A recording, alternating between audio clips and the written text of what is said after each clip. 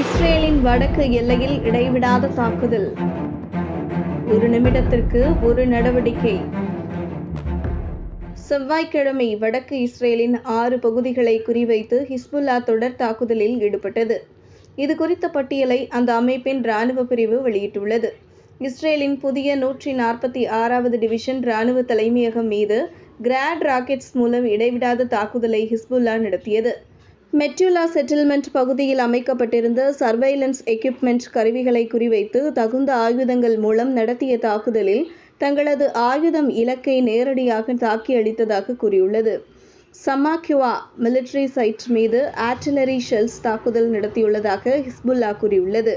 ஹனிட்டா military side பகுதியில் கூடியிருந்த ஆக்கிரமிப்பு வீரர்கள் மீது ஆர்டிலரி ஃபயர் தாக்குதல் நடத்தியதாகவும் தங்களது ஆயுதம் இலக்கை நேரடியாக தாக்கியதாகவும் ஹிஸ்புல்லா கூறியுள்ளது.